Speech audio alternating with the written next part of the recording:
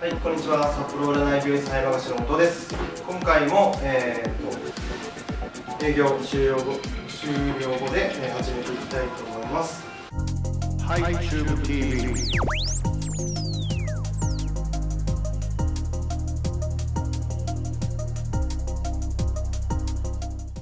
前髪が結構ブリーチをされて、前髪とあとこのサイドをブリーチして、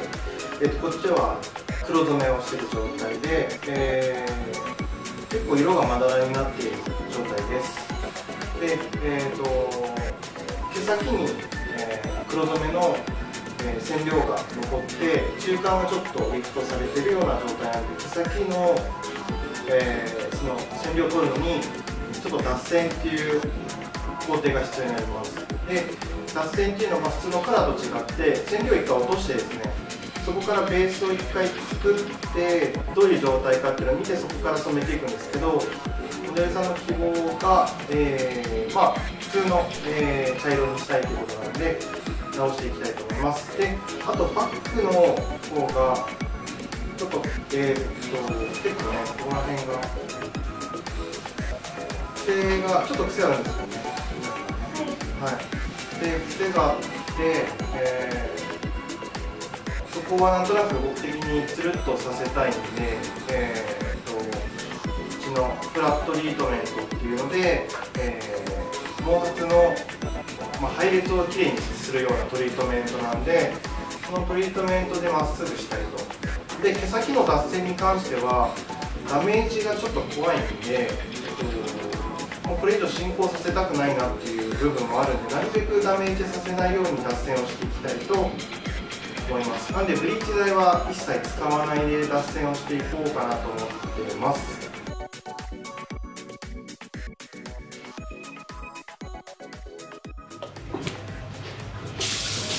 はい、もう一回水を張り直します。えー、で、ちょっと、えー、と、お湯の温度を上げます。若干。ちょっとお湯の温度を上げて脱線していきますね。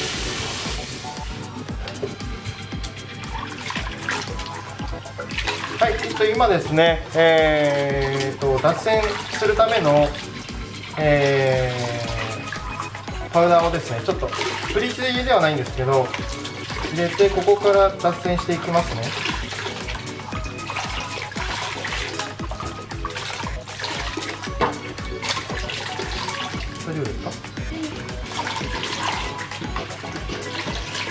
ただまあこれであんまり抜けないようだったらまあちょっとしょうがないのかなっていう感じもするんですけど。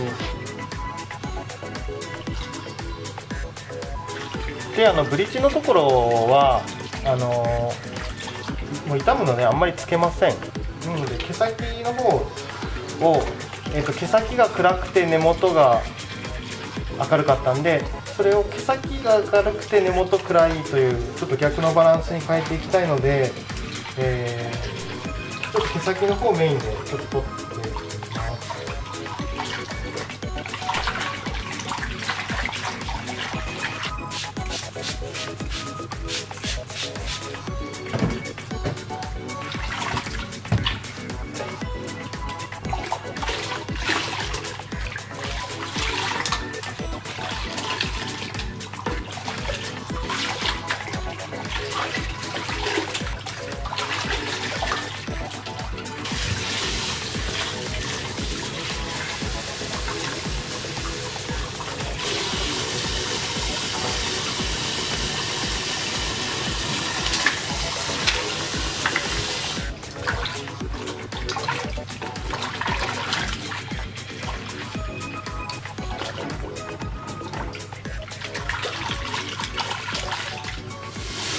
えー、と脱線しても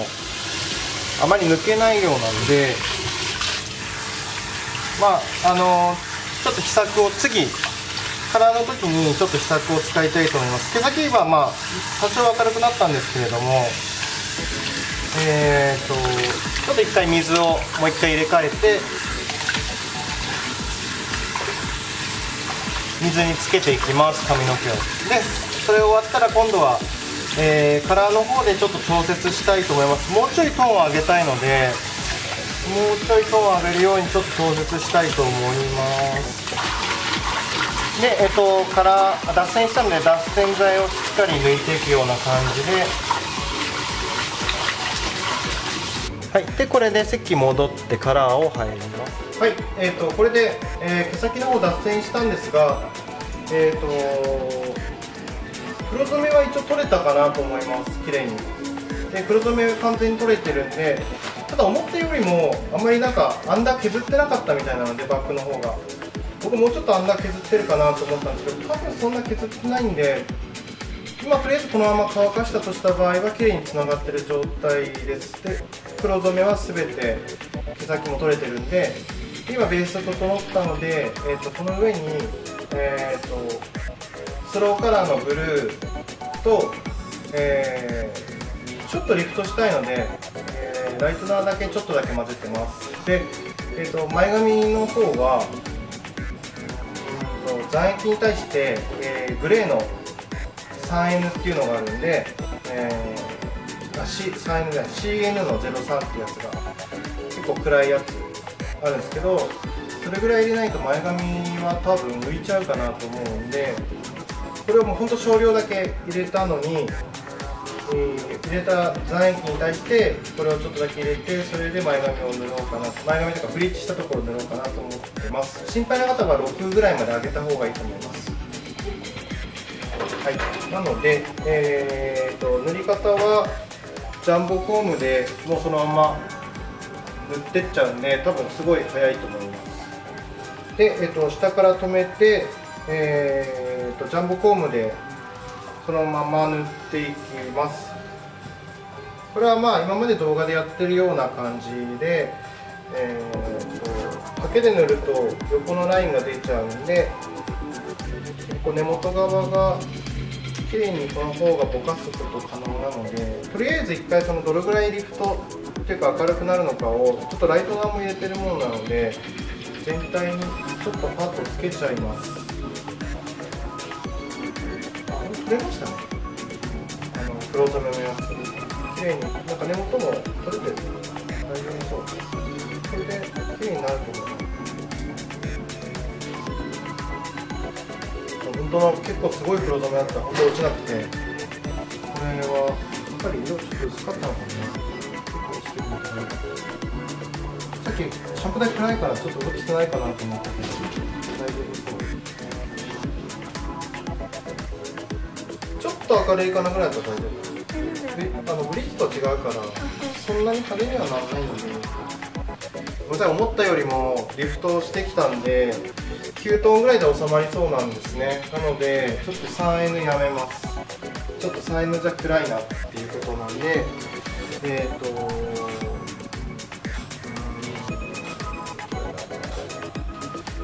6かな6にちょっと上げて、えー、染めたいと思いますちょっと3だとツートンになっちゃうかなって感じがするんでブルー単体で正解ですね。色もあの濁らないで綺麗に今入ってくれてるんで余計なブラウンはいらなかったなっていう感じがします。結構メラニン色素多そうな感じなのででこの残液に対してあのちょっと 6N ナチュラルの動を出していきますね。三円に対して、えーと、と3対残液が3としたら16を入れてます。オキシは足してないです。なんでちょっとバランスはオキシがちょっと少ないですけど。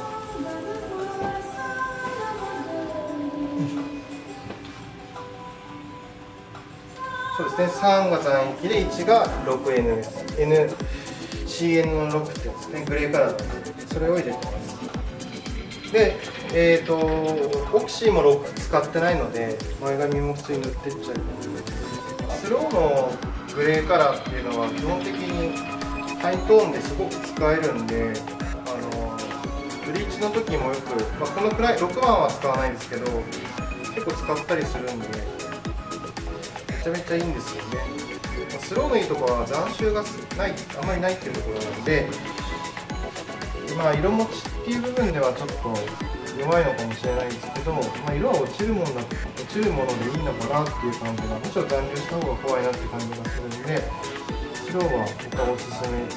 なカラーですね。なんか結構赤って赤いのインパクトあるからねちょっと寂しくなるかもしれないけど普通にやってはい今はブリーチを探してブリーチのところにえっ、と先ほど 6CN の6を足したものを塗っていっています。ちょっとこれは時間置かないと色入んなそうなんでちょっと時間かかりそうですね。ただこの赤はもう消せないと思うんでもう正直消そうとも思ってないんで今までちょっと赤みで赤くなって大丈夫これね消すとしたらでも真っ黒くしないとダメなんですよなのでちょっとここは自然にちゃんとやっていきたいのでここだけなんか真っ黒だったら自然じゃないです。かなんか黒のメッシュみたいになっちゃうだからそうはししたくないのでこれで様子見ましょう。はい、これでちょっと一回時間を置いて、えー様子を見てみたいと思います。ラップはしません。まあ、顔周りの方ちょっと何回もチェックしながら、えーちょっと見ていきたいと思います。バックの方はもうかなりいい状態に今入ってるんで、あとはブルーがもうちょっと入ってくれたらいいかなぐらいの感じです。はい、これで自然に染まってる状態で、えー乾かしていくと色がちょっと出てきます。で、えっと、乾かす結構ダメージがねやはりちょっと気になるのでそこがえっとこ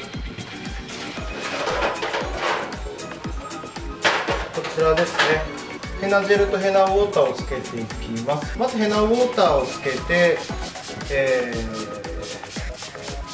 いきます。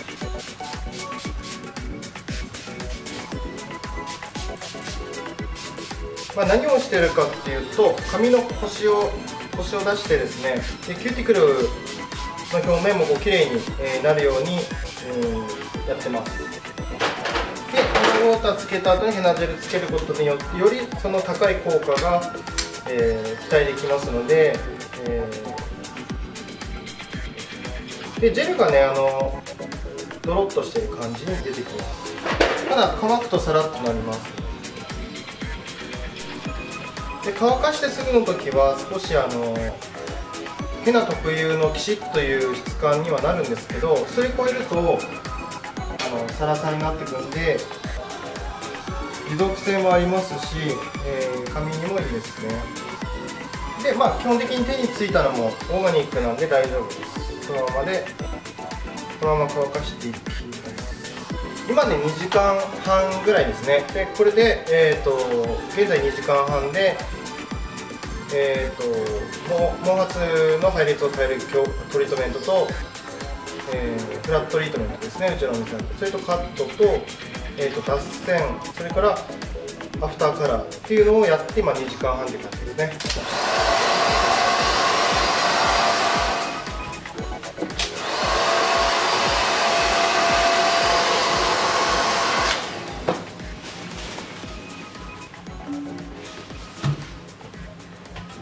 今日だけ分け目変えよう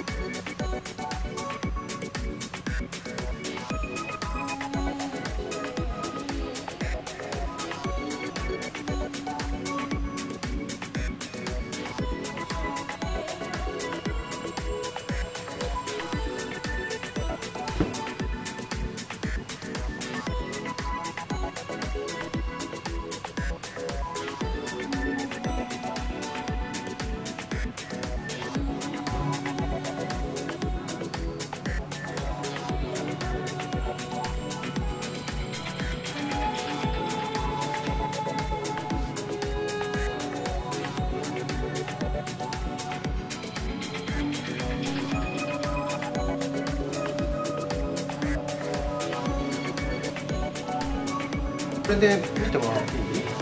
これで多分3日ぐらいしたら相当落ちてくると思う色分かるちょっと夜だから分かりづらいかもしれないけどこれなんか自然だったここはもうこれでやらないとね多分すぐ赤くなるから後ろちょっと見えますこれで結構自然じゃないですかアッシュの色が入って綺麗にこうちょっとベージュっぽい色にそのこれが抜けてきたらベージュっぽくなってくるのでいいと思うんですけどね。これだと大丈夫そう。はい。大丈夫。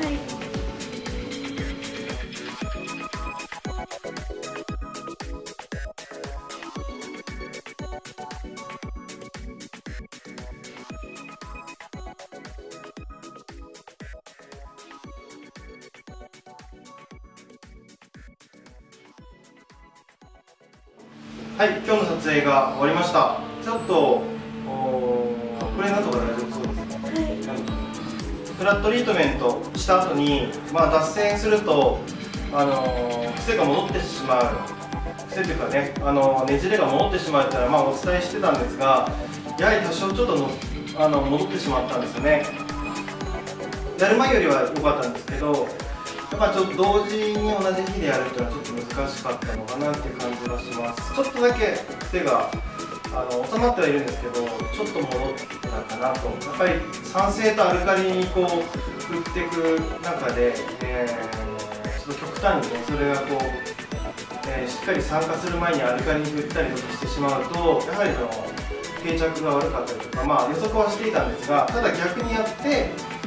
えー、と最後の方に、えーねじれを取りたいということで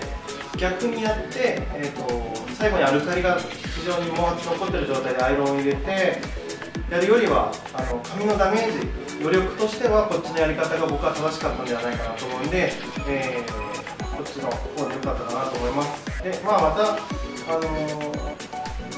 髪が落ち着いたらまたそのトリートメントもできますし、えーまあ、今日の段階ではいいかなと思います。あと色抜けながら、あのまあ、明日、明後日ぐらいにはかなり色が落ち着いてくると思うので、えーこんな感じでした。じゃあ皆さん、また見てくださいね。じゃあ、バイバイ。